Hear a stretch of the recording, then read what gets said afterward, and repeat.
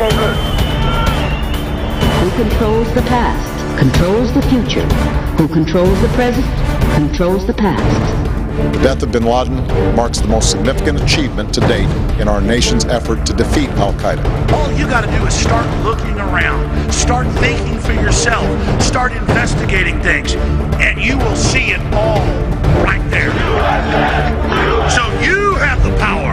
Humanity has the power. We have the power. Do you want to fight? You better believe you got one.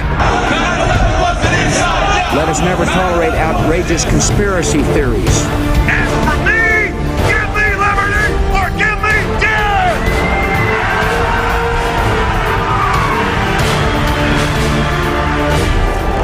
The answer to 1984 is 1776.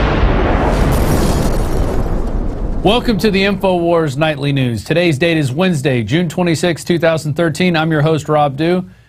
We're almost halfway through the year. In fact, we're more than halfway through the year. Here's a look at our top stories. Tonight, Michael Hastings' wife vows to take down whoever is responsible as Staff Sergeant Joseph Biggs reveals that Hastings was working on his biggest story yet about the CIA before his untimely death. You know how people are going to react to this. They're going to say that the, the tinfoil hat people think the government killed this journalist. Then, a former terrorist releases video testimony that says Al Qaeda in Syria is being led by the CIA. Tell us something we don't know. And Kevin Booth talks to InfoWars about American Drug War 2. That's up next on the InfoWars Nightly News. We begin tonight with a couple stories from Paul Joseph Watson concerning the death of journalist Michael Hastings. Uh, the first one, this was from yesterday. Friend Michael Hastings was working on the biggest story yet about CIA. And this comes out of revelations from his friend Sergeant Joe Biggs, who Michael Hastings was embedded with when he was in Afghanistan in 2008. And Fox News had Michael or Joe Biggs on to talk about uh, the releasing of an email that Michael sent out just hours before his car mysteriously blew up. It's interesting to note Mercedes has yet to come forward and say that uh, their cars are perfectly safe and, and, no one needs to be worried about them spontaneously blowing up when you're driving through the streets of LA. Um, but uh, there's a couple things I want to go over. Uh, Biggs said he contacted Mercedes asking them if it was normal for their cars to blow up uh, to that extent and for the engine to fly 100 feet out from the side of the crash. He also confirmed that Hastings was working on a story about the CIA and said it was going to be the biggest story yet. Um, some other parts of this timeline, WikiLeaks reported that Hastings had contacted them in the hours before his death, complaining that he was under investigation for the FBI uh, by the FBI. Cenk Uygur from the Young Turks said he was incredibly tense and very worried. Uh, BuzzFeed editor Ben Smith added that Hastings had told friends and family he was very concerned that he was being under investigation, and an anonymous source said he was very paranoid and that he was being watched by the FBI. His um, email that he, his panicked email that, that Biggs released says, Hey, the feds are interviewing my closest friends and associates. Also, onto a big story, need to go off the radar for a bit. So that was yesterday, and we're going to go to this clip. This is Sergeant Joe, Staff Sergeant Joe Biggs yesterday on Fox, Fox and Friends, I believe, with Megyn Kelly. Uh, well, what was he investigating, as far as you know, that would have caused any consternation whatsoever by someone? CIA, but from what he said, or his last, one of the things he said is it was going to be the biggest story yet. The, you know, you know how people are going to react to this. They're going to say that the, the tinfoil hat people think the government killed this journalist uh, by taking Exactly. over his control, his car, doing something to his car. Auto driving. Here we go. Where we go?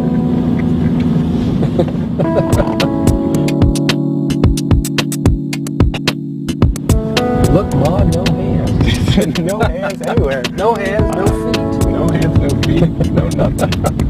I love it. So we're here at the stop sign. Yep. Cars using radars and laser to, to check and make sure there's nothing coming. Wow. We tinfoil hat wearers. We believe he'd be killed by the government. Megyn Kelly, government mouthpiece, says tinfoil hat wearers ask questions. Only people like me read from teleprompter. Here it is.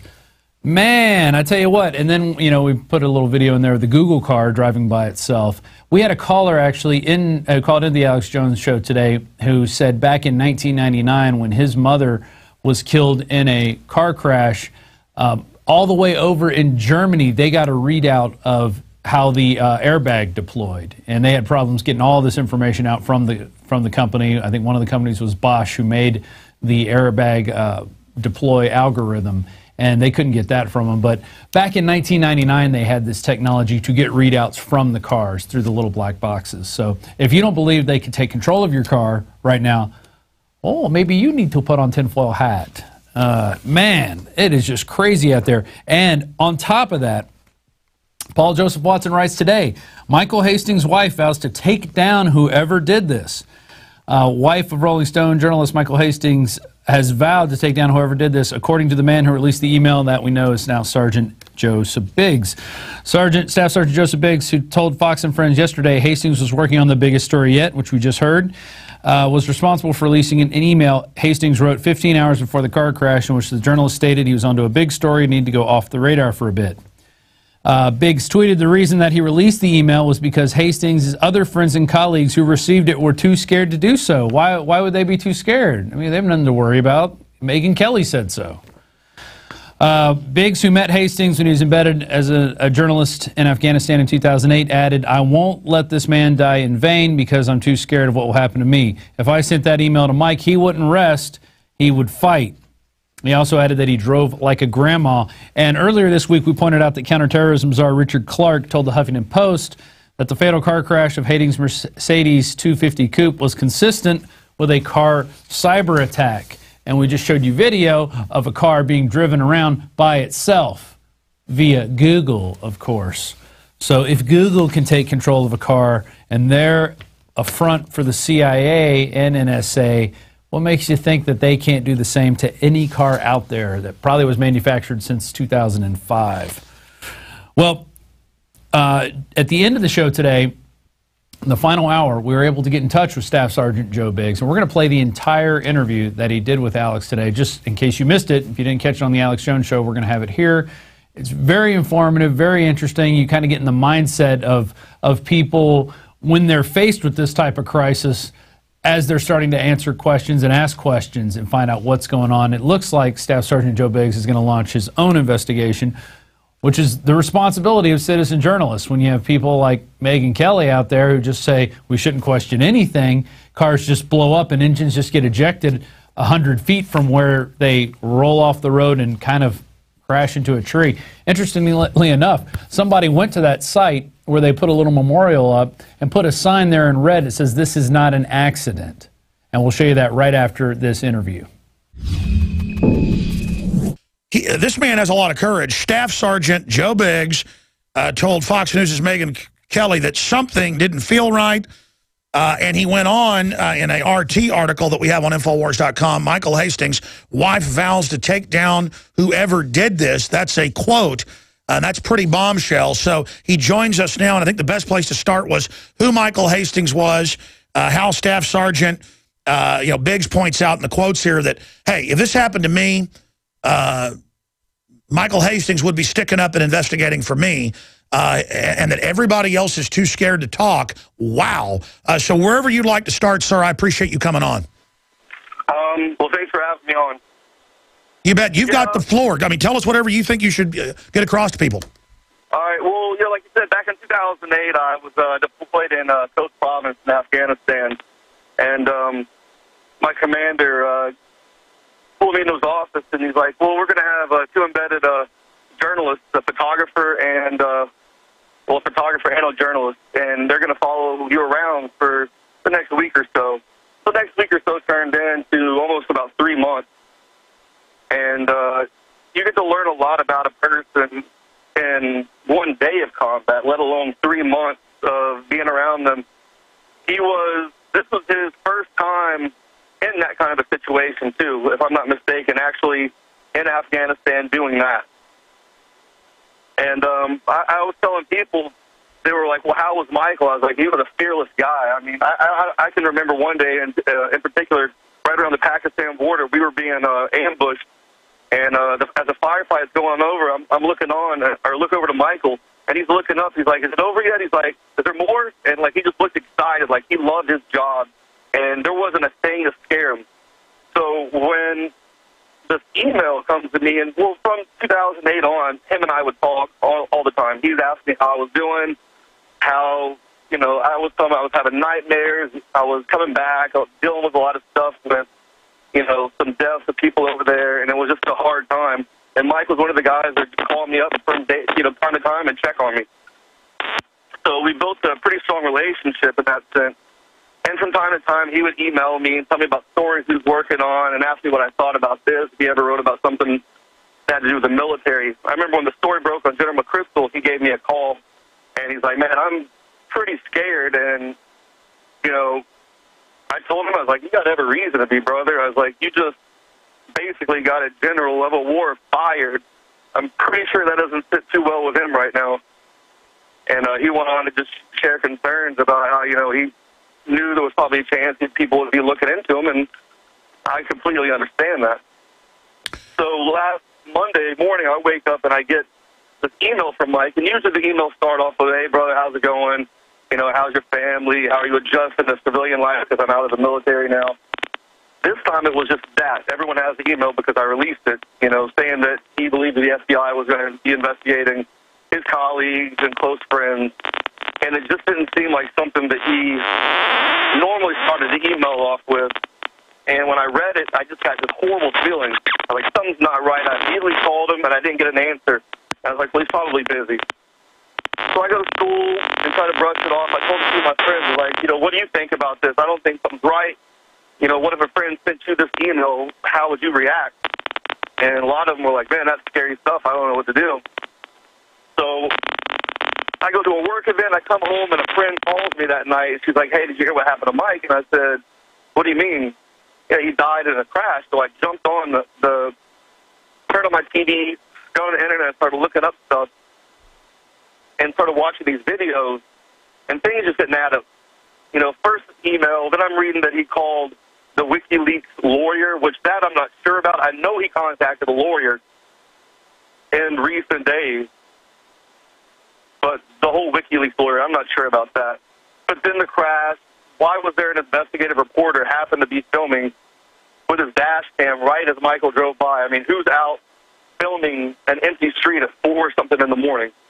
I mean, all these alarms were going off, my gut feeling from day one, from before it happened, I knew that something wasn't right. There's too many things that added up and did Afghanistan and all those years of combat uh, did that hone your your gut instinct? Yeah, I just it, just just anybody who knows someone and they act out of out of reason, out of like their normal behavior. You know that should go off on that should send a red light off to anybody with you know that's had a close friend. Let's I talk mean, about let's talk about and then all the points you want to get into, but let's talk about why you decided to go public. You talked about the rest of the people that were sent the email as close friends and family like yourself are scared.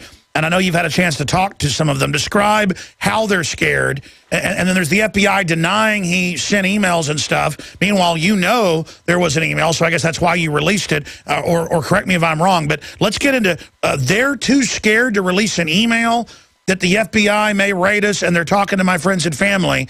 He wouldn't lie about that. And, and, then meanwhile, I'm going off the radar. That's I'm going into hiding. Uh, wow. I, I, mean, I hope I don't say, I'm going into hiding. Look out. And then my car blows up. I mean, wow.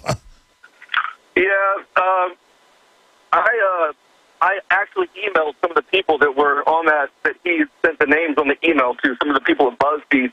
And I said, hey, did you guys get that email? Now he's dead. Does anybody else think this weird? I got one response back, yeah. And I go, yeah, question mark, question mark, question mark. That's it.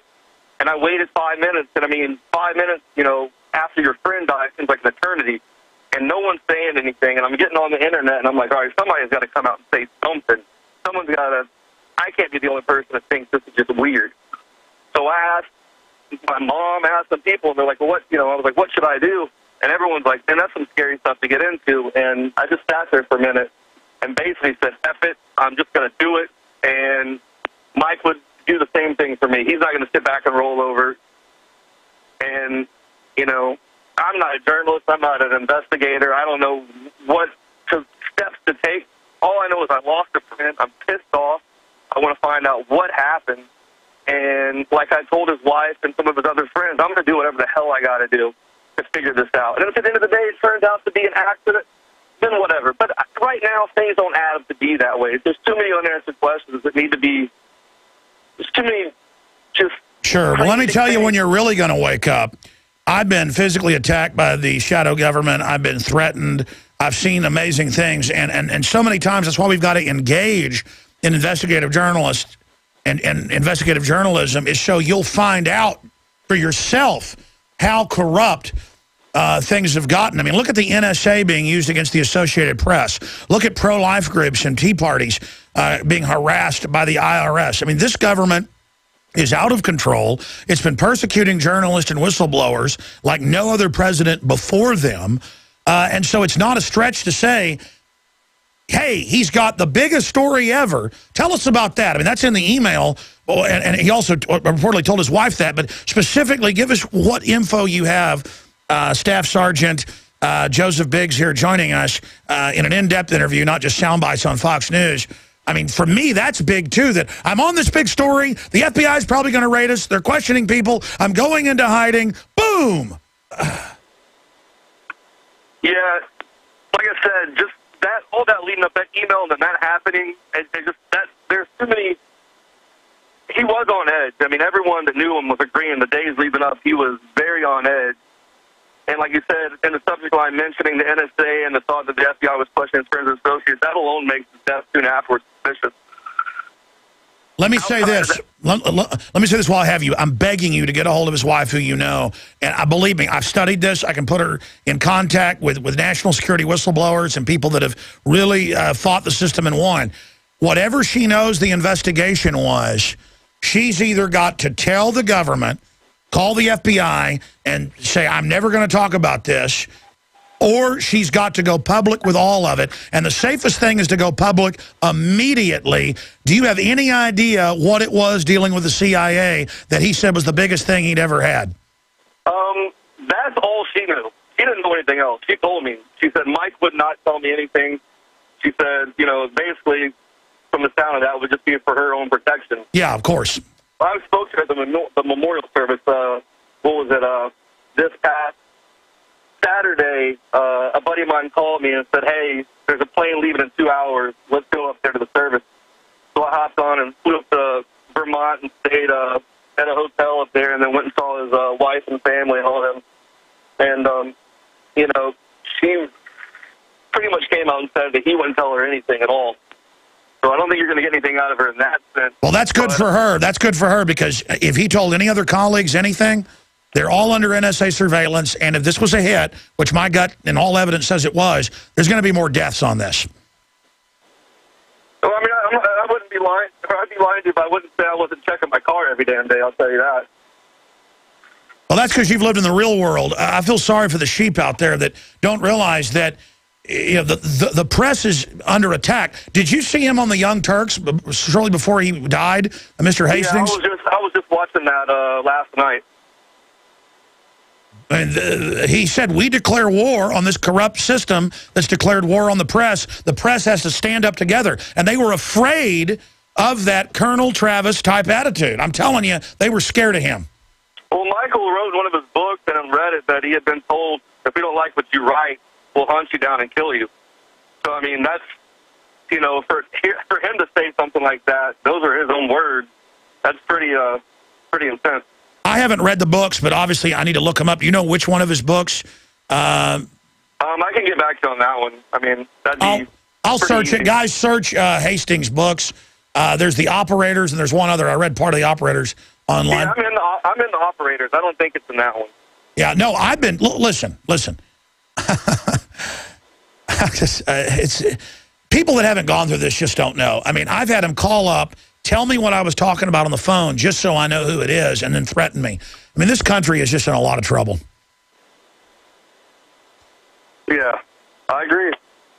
Uh, listen. Uh, With the interview yesterday though with uh with Megyn Kelly, I was pretty uh pretty upset because um I was asked that you know some topics I wanted to go over, and as soon as I got there, it was just kind of bing bang boom. She kind of didn't really give me a chance to you know discuss them. Well, sir, you've got that chance now. You've got what are the points you want to make here? Well, you know, I like I said, I'm no journalist, and I don't know how to go about all this stuff. But I mean, I wrote, I reached out to Mercedes Benz and wrote an email, and I don't know how often they're able to get something like this. But I mean, one of the things that you need to find out is how often in with Mercedes, and on top of this, let's remember Mercedes is one of the safest types of cars there is, especially nowadays, that an engine, you know, comes out. And looking at the fire from that, I've been blown up in Iraq and Afghanistan and completely engulfed in flames, but it never looked that bright. I mean, it never looked that big. And I can tell you from firsthand experience from surviving, you know, IED explosions, it, was never at that magnitude that that car just, you know, spontaneously, you know, just explodes from hitting a tree. Yeah, I've been told it looks like five to eight pounds of plastic explosive, probably uh, underneath the car, right where he was sitting, or in the dashboard, uh, and it, it, and they debate whether it was 30 yards up to 50 yards or longer that it shot this. I've heard up to 100, and you know, and another thing is the eyewitness saying that they saw sparks before the impact, and then another person inside their house said that they it sounded like a bomb going off. So you know, cars hitting trees don't sound like bombs going off. Well, plus I've seen the photos, Sergeant, Staff Sergeant. It, it looks like it came to rest up against a tree. The witnesses said it blew up in the street and jackknifed, and then and then basically then was thrown into a tree. Yeah, yeah. Well, that's what I think as well. I, I was talking with my buddies earlier. The way the engine's lying, it had to have come out before even being near that tree. I mean, the car's not going to hit a tree, and then the engine. It would have been some kind of mark where the engine had like ricocheted off the tree and gone in some direction. Instead, it you know, in the same direction of travel before this, you know. Yeah, that's right. The car, according to like three witnesses, blows up in the street. The engine flies out the front down the road. Then it comes to rest up against a tree. If it if it hit on the side and the engine broke off, which uh, according to engineers they say th they're so bolted to that frame it'd be incredibly hard to even break it loose. It would have shot through the fence into the person's house, not the opposite direction down the road. Yeah. Well, we definitely need an independent uh, expert investigation and I'd love to try to get a, a fund to purchase the wreck and have it examined by someone. That'd be fantastic on all ends because I really don't trust the LAPD to be making some sound decisions on something like that. I mean, how do you rule out foul play as a matter of hours? Yeah, absolutely, sir. And then Breitbart, they announced he died of a heart attack 45 minutes after he was at the hospital. That That's never done. The coroner wasn't even there. And then the guy that did the coroner examination died of poisoning uh, a month later. I, I mean, this is come on, folks. This this is getting insane. Uh, now, now expanding on this, uh, when did you talk to his wife? I mean, was it at the funeral or via email? Uh, was it the memorial or or via email where she said that I'm going to take down whoever did this? She, uh, when we were at the service, she pulled me aside and talked to me, and she was like, you know, thanks for having, you know, basically the courage to do this and trying to help out. And she's like, you know, I'm definitely you know, she's she's basically the way she it, she's like, I'm going to do what I can to look into this with everything I got. And you know, she when she did it, she put her hand on me and she just gave me this look, and I mean, she looked like a pit bull. You know, like she is protecting the person she loves more than anything, and she's pissed off. And it was the hardest thing for me to see, just because you could see how bad she was torn up. And it was just, it was a horrible just to see that, you know, that man was loved by so many people. He was a great guy. A lot of people hated him when that story with McChrystal broke. They hated him. But I tell you right now, for the soldiers, I got much respect for that man. I respected the hell out of him. He spoke the truth, and he wasn't afraid to tell anybody that. And if they lied, he'd call them out. You know, why all of a sudden is it wrong to be truthful and not stick up for sure. what's right? There was a gentleman went by the name Colonel Six out of Dallas, a, uh, uh, uh, African American member of the military, and he would send me all this great info and said McChrystal's going to go down soon and stuff. And then about six months later, he did. And then Colonel Six said, "I've got intel I'm going to give you. This is on record." And then it was in the news the next week. He committed suicide in Fort Worth. and it turned out he was everybody he said he was. Colonel Six was his nickname. Uh, and people can look up the guy's full name and everything, but it's just so many people. And I'm not trying to scare people for the globalist. I want people to understand, though, you've had a lot of military investigators killed that investigate missing money. You know, there's so many examples of this, and we need to stand for the free press in the memory of Michael Hastings. And I'll say this, I didn't really know who he, I mean, I knew who he was, but I didn't know if, I, you know, really respected him totally or not, because I wasn't sure until I saw interviews he did about the NSA and saying we've got to come together. You know, the government's coming after us. They're thugs. This is illegal. We've got to organize, you know, for, for American freedom. It was so powerful. And then I saw other interviews, and it seemed in the weeks, because then I went back and watched more. I went and watched interviews from a year ago. Six months ago, they weren't the same. Two weeks before he died, he was doing interviews and was energized with like he'd discovered incredibly bad things. And, and, and I mean, did you notice a change in him in those videos? Oh. Yeah, when I was watching last night, I could definitely see a, a fire under him. He was definitely uh, pretty motivated. Wouldn't you like to know what he discovered? I mean, oh, yeah, I do. I mean, I we've just got to, like I said, slow and steady wins the race. This is something that's not going to be figured out immediately, but I've just got to have patience. And I've reached out to people via Twitter, and a lot of people have really come forward and been willing to help me. I got a guy that lives in L.A. who's pretty much expert with uh, the FOIAs.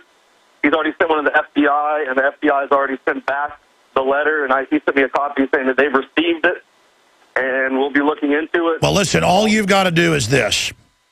You've got to start a defense fund uh, on on one of the crowdsourcing sites, or or just set up a a a, a uh, PayPal or something to get the basic money to go out there for like a month. You get you get his wife to sign a uh, power of attorney to let you get the car. Now, now, here's the deal. I shouldn't even be announcing this on air. They will try to scrub the car, but if you get there and it's had chemicals, extra chemicals sprayed, it's been scrubbed, still you'll be able to find explosive residue. You've got to get it to independent forensic people. But here's the thing. I got to warn you. Just like they killed the coroner of Breitbart, I believe this was a car bombing. Understand, you've been in combat, so you're not a wimp. I, I admire you and I admire Mr. Hastings. I don't know what I would do in this situation. They will probably try to off whoever goes to try to do samples of that car. I'm telling you, this is serious business. Just like TWA Flight 800, reporters snuck in and got the explosive residue, that it was a U.S. Air Force continuous rod warhead. I had the top general on, he blew the whistle, General Partin as well. They arrested the reporters and put them in jail for a long time for breaking into the hangar. So I'm just telling you, this isn't a game. And I know you know that. Yeah, and like I said before, I'm not making any kind of, I believe this is what really happened right now. Like I said, based off facts, things don't add up right now. So whether he be murdered or it was an accident, I can't rule out the worst that would be him being murdered. I can't rule that out because right now there's no factual proof to disprove that. So you'd have to be insane to ignore all the things that happened, all the ingredients. All... There's gonna be there's gonna be so many people out there. Most people, like you said, are they don't they just read their news and drink their coffee and go to work and they're happy and that that's all there is. You know, and they go on about it and come back to their homes or probably you know the white picket fences and everything's all lollygags and happy and all that stuff, but they don't realize that what people go through to really stick up for this country and things like that. And there's a lot of people out there as well that are willing to do whatever they have to do to keep some of their secrets down. So. Absolutely. Well, I can only respect your incredible courage, sir, and I'd like to continue to get you on as things unfold. And uh, if you need any help investigating this, I'm if, if the family wants me to, I'm willing to go to Los Angeles. I mean, I'm committed to this, and I and, and, I, and if they kill me, I want people to investigate what happened to Alex Jones, just like you're doing for your buddy. Uh, you know, I believe that uh, Mr. Hastings uh, is, uh, you know, directly in heaven because God loves people that have courage and God hates cowards. speaking, if you could talk to Michael right now, Staff Sergeant Biggs, what would you say to him? That he was, it was amazing to see the amount of people that he affected through his life. I just hope that one day that I'm able to have that much of an impact on people's lives as he did. he was loved by many. He was a fearless man. He was one of the greatest people I've known, and I have unwavering respect for this guy. And like I told his friends and family, I'm not going to sleep on this. I'm committed, and he should know that we're not going to just sit back and roll over because I know if the roles were reversed, he'd do the same thing for me. Well, Pat Tillman's brother pushed, and they found out he was murdered. Yeah. We've got about a. Giving up. Well, God bless you, man. I really respect you, and that's why I say our military is such great people. Even if these wars, many of them are corrupt and wrong, the people that are doing it, uh, you know, got in for the right reasons and have just done things that the average public has no idea how hard it is. Uh, and and and Mr. Hastings was in a war for freedom in this country, and he said that. And and I just want to commend you uh, for what you're doing, um, Staff Sergeant. We got about a minute left. Anything else you'd like to add? Like I said, if anybody has any kind of information or anything like that, I just, you know, they can contact you and you guys can get a hold of me and you can find me on Twitter because everyone has been able to do it recently. Give us your actual Twitter account. Um, at R A M B O B I G G S at Rambo Big. So obviously, Staff Sergeant Joe Biggs is concerned enough, A, to fly to the funeral and memorial of his fallen friend and talk with his wife, but also to even possibly launch his own investigation. He's strongly considering it. We'll see where that leads him. But here I want to show you this picture, and this is off of patdollard.com. He posted this picture right there. This was not an accident. And there it is, written in red at the site of where his car was reportedly going over 100 miles an hour uh, and flew into this tree. The tree, of course, didn't fall, and the engine was then ejected because, you know, every Mercedes has its own uh, engine ejection switch. When you're about to hit a crisis or something, you eject the engine 100 feet from your car. That's the way it works, people. Don't you know that? Don't you know anything about cars these days? Very interesting, and this is obviously scratching the surface of what's going to be another big thing. Interestingly enough, also, there were two detectives uh, that had an assassination hit on them. Uh, that this is just coming out. I read it in Huffington Post and also saw it on another website, Daily Mail Online, where uh, two detectives coming back in from work in the early morning hours were ambushed by a gunman. Uh, they returned fire. They weren't seriously injured. Uh, interestingly enough, they didn't find anybody. They didn't find any. They detained a few people, but determined that they weren't the suspects. So, were these two detectives working on this case?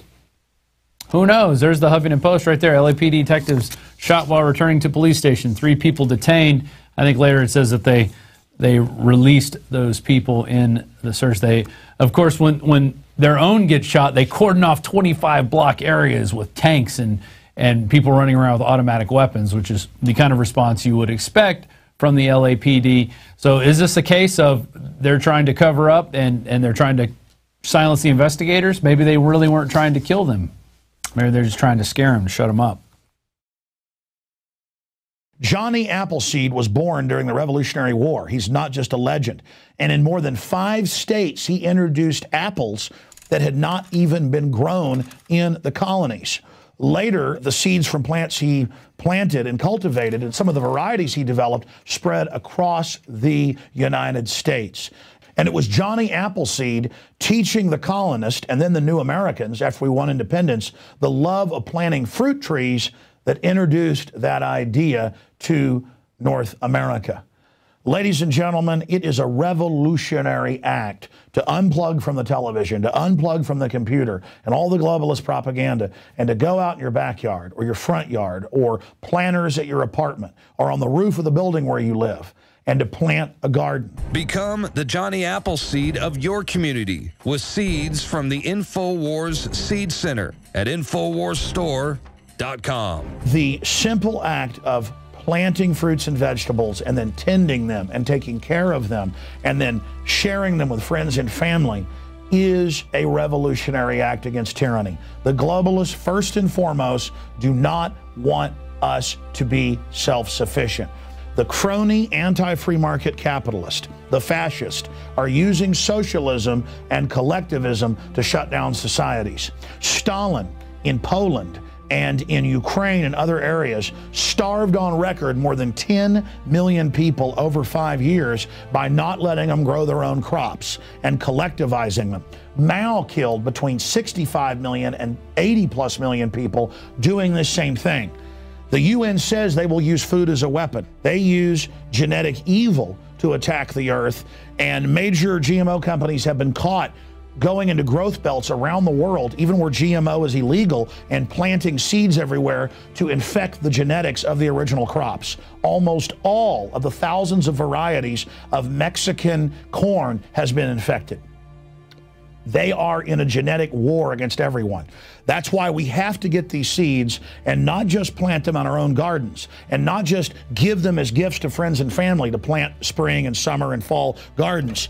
I'm calling on you to go out into the green belts, to go out into the areas and plant secret gardens. No, not of marijuana, but of the hundreds and hundreds of incredible high quality uh, vegetables and herbs and fruit plants that are here. Lemons and oranges, the list goes on and on. They will grow, uh, plum trees, grape trees, they will grow almost everywhere in the U.S. We can literally, not just buying these products from InfoWarsStore.com, but from wherever you get them. This aggressive program literally just came to me one morning when I woke up about 4 a.m., realizing that we've got to counter their genetic war against us with original, real crops developed over eons on this planet. We have the lowest prices. We bought it in the biggest bulk that some of these companies have ever seen to ship this directly to you from the InfoWars Command Center. We stand for life. We stand for liberty. We stand for self-sufficiency. Go to InfoWarsStore.com, click on the Seed Center, and as of taping this, we have the seven top respected brands. We intend to continue to do research and find other companies, other specialties, other varieties to really take action. The InfoWars Store Seed Center has the largest online selection of heirloom, non GMO seeds. Check out these products from our newest supplier, Heirloom Organics. The Medicine Garden for a natural remedy. The Tea Garden that contains every important tea herb you can grow. Fruit Lovers with 12 varieties. And the Tobacco Pack, additive and pesticide free. Join the gardening revolution today at InfoWarsStore.com. This is a revolutionary action we're asking you to take. Plant seeds everywhere today. Nurture them, bring them to fruit, and pass on the knowledge to others. Become human again. Discover your roots in the soil. And remember, the revolution against tyranny is growing.